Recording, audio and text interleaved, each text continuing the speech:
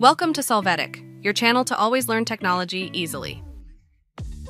Below in the description, you will find useful links we used in this video.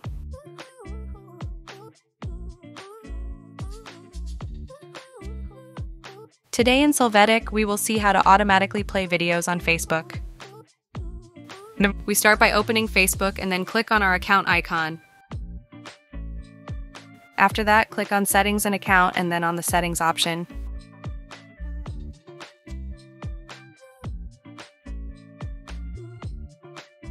Here we are going to enter the media category.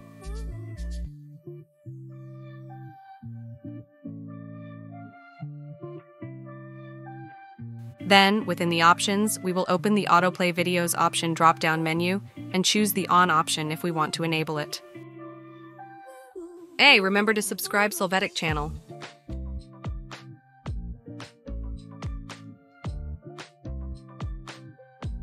We hope it has been helpful for you. Here are links to watch more videos of your interest and subscribe to the Solvetic channel. Thank you.